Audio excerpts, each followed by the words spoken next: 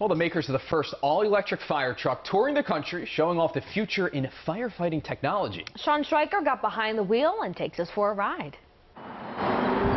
A fire truck straight out of the future. This behind us is the world's first electric fire truck. It's the RT for revolutionary technology. It's technology that took Rosenbauer America six years to develop. They're now on a cross-country tour showing off their eco-friendly firefighting machine. Today's stop, Howard County.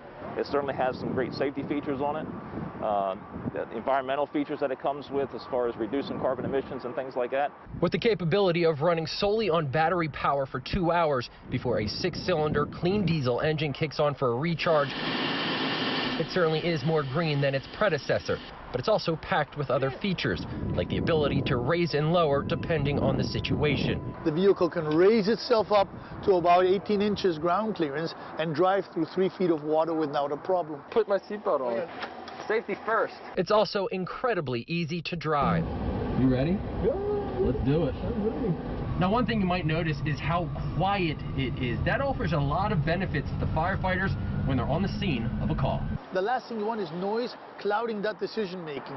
To make those life and death decisions, you need preferably to have a quiet and silent as possible surroundings. This thing's got some acceleration. Just right off the bat, it has all of its torque and all its power.